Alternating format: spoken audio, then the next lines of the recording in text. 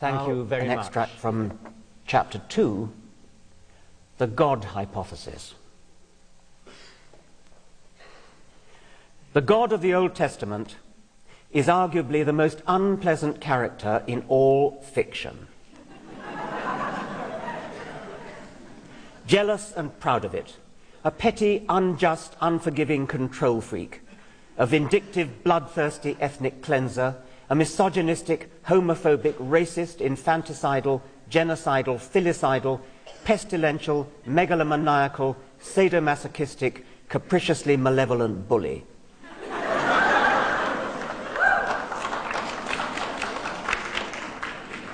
Those of us schooled from infancy in his ways can become desensitized to their horror. A naif, blessed with a perspective of innocence, has a clearer perception. Winston Churchill's son, Randolph, somehow contrived to remain ignorant of Scripture until Evelyn Waugh and a brother officer, in a vain attempt to keep Churchill quiet when they were posted together during the war, bet him he couldn't read the entire Bible in a fortnight. Unhappily, it has not had the result we hoped. He has never read any of it before and is hideously excited. Keeps reading quotations aloud. I say, I bet you didn't know this came in the Bible. Or merely slapping his side and chortling, God, isn't God a shit?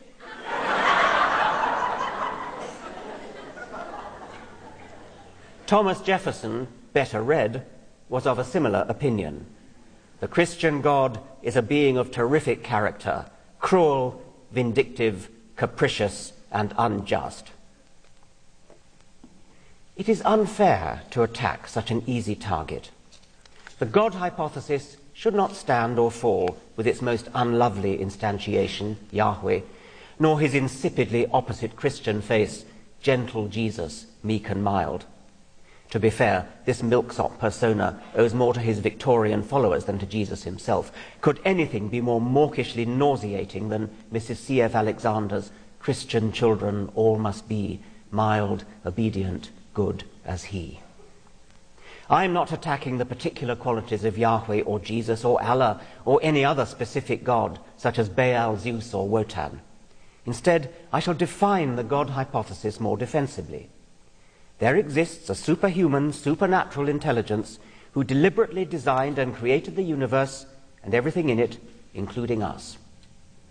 This book will advocate an alternative view.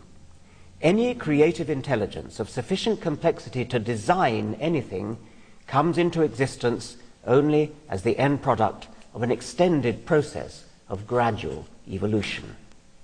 Creative intelligences being evolved necessarily arrive late in the universe and therefore cannot be responsible for designing it.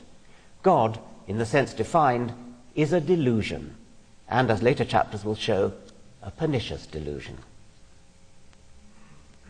Not surprisingly, since it is founded on local traditions of private revelation rather than evidence, the God hypothesis comes in many versions. Historians of religion recognize a progression from primitive tribal animisms through polytheisms such as those of the Greeks, Romans, and Norsemen to monotheisms such as Judaism and its derivatives, Christianity and Islam.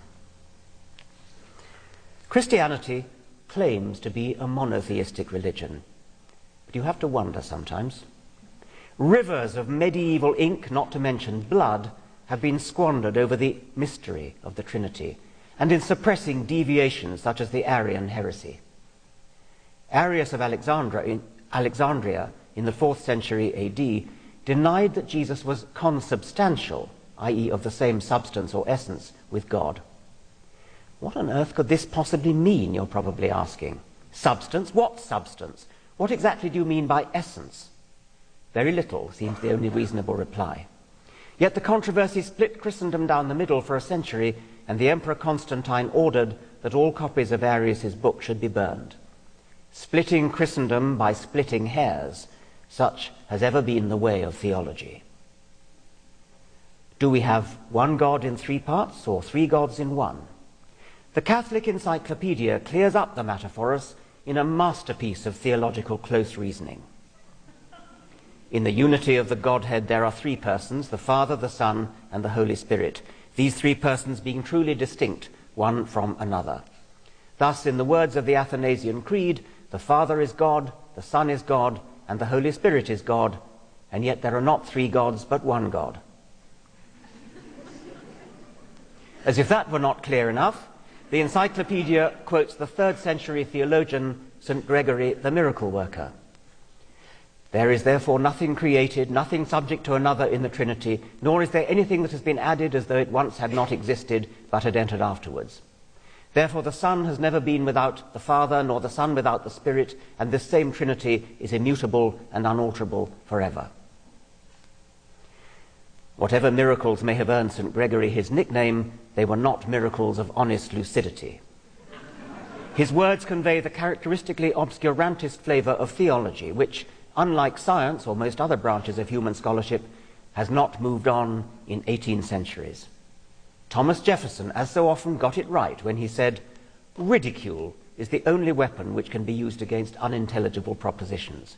Ideas must be distinct before reason can act upon them, and no man ever had a distinct idea of the Trinity. It is the mere abracadabra of the mountebanks calling themselves the priests of Jesus. Jefferson heaped ridicule on the doctrine that, as he put it, there are three gods in his critique of Calvinism. But it is especially the Roman Catholic branch of Christianity that pushes its recurrent flirtation with polytheism towards runaway inflation.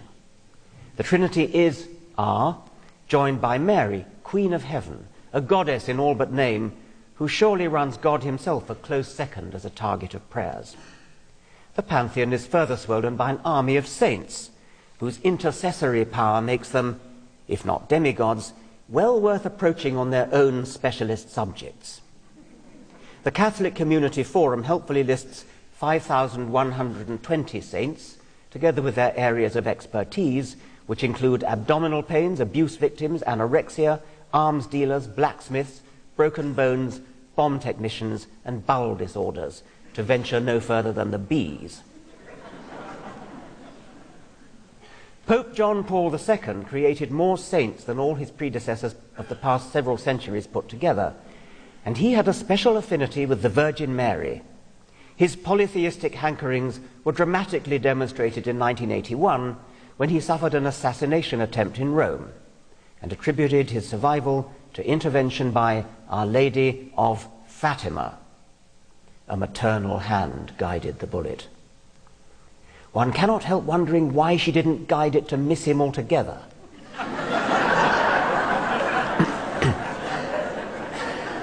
Others might think the team of surgeons who operated on him for six hours deserved at least a share of the credit.